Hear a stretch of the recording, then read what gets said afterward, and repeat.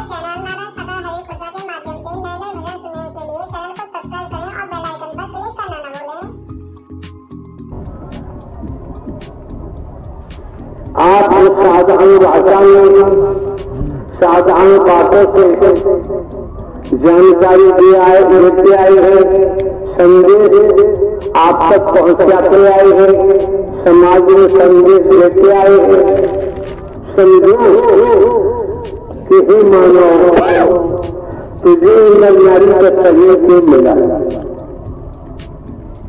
ये समझना नितांत आवश्यक है भी देख रहे हैं प्रथम बार यहाँ ये मानो मंगल मंगल सद्भावना समागम का आयोजन। जयपुर महानगर, गांधी में आप महापुरुषों ने ये सारी व्यवस्थाएँ अपना तन धन खर्च करके जुटाई है। यहाँ कहीं से चंदा नहीं लिया जाता है। कमेटी के महापुरुष इकट्ठे होकर, एकत्र होकर सारी व्यवस्थाओं को जुटाते हैं। वास्तव में वो महापुरुष बधाई के पात्र हैं। जिन्होंने देखिए, आज के जमाने में नकारात्मक रूप में धन को कितना ही व्यक्त किया जाता है, लेकिन सकारात्मक रूप में इस मानव मंगल सद्भावना के लिए जयपुर महानगर इन महापुरुषों ने एक समिति बनाकर अपना संगम धन खर्च किया है। इन्होंने किसी की जाति नहीं देखी? इन्होंने किसी को काला गोरा नहीं देखा, गरीब दिन नहीं देखा। क्या शादी करते हैं तो पता भी होता है कि बराती इतनी तादाद में पहुँच रहे हैं। ये जानकारी हो भी जाती है, लेकिन आप देख रहे हैं आपकी समझ आ रहा है। कोई यहाँ प्रचार प्रसार नहीं किसी प्रकार का दूर से भी किसी को जानकारी नहीं दी जाती है। आप बिना सूचना के, बिना दूर आधारे तो संदेश आप तक नहीं पहुँचा। दुनिया में पर तो ये समझ लो। रचयिता ये आपको ज़रूर बुलाया। अगर ब्रह्मांड के रचयिता नारायण साचार्य हरि।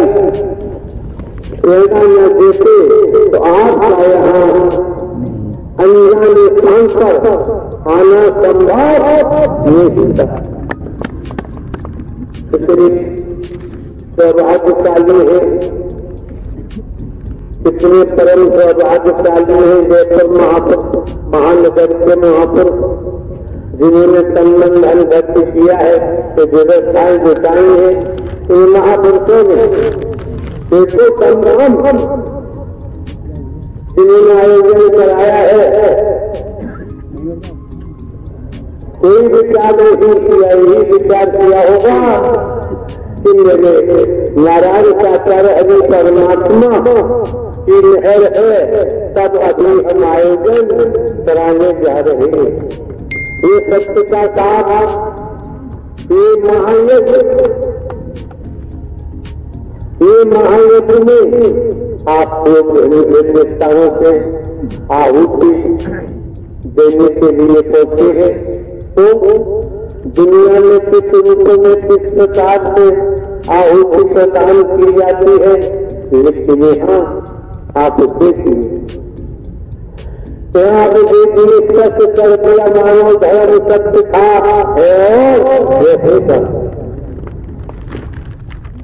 मानव धर्म मानवता ही तो सनातन है। मानवता कोई सनातन कोई वस्तु पदार्थ नहीं है। तो सनातन को ब्रह्मांड में कोई नुकसान नहीं पहुँचा सकता। क्योंकि सनातन वस्तु पदार्थ नहीं है। इसी प्रकार देखिए परमात्मा जिन्होंने ब्रह्मांड की रचना की है, नारायण साकार हरि, अजन्मा है, अविनाशी है, न जन्मते हैं, न मरते हैं। हमेशा कायम ध्यान रहते जब हमेशा कायम ध्यान रहते हैं इतना तो समझ लो माता के पेट में एक बूंद से आपकी रचना कर दी अपने शरीर का आकलन करो समझ में आएगा एक बूंद से माता के पेट में हमारी रचना की है। में न कोई वैज्ञानिक बैठा दिखाई दे रहा है।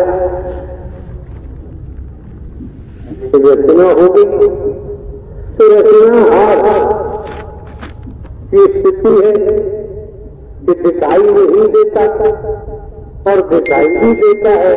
कैसे देता है? सारी बातें आपको बताई जा चुकी है। जानकारी दी जा सकती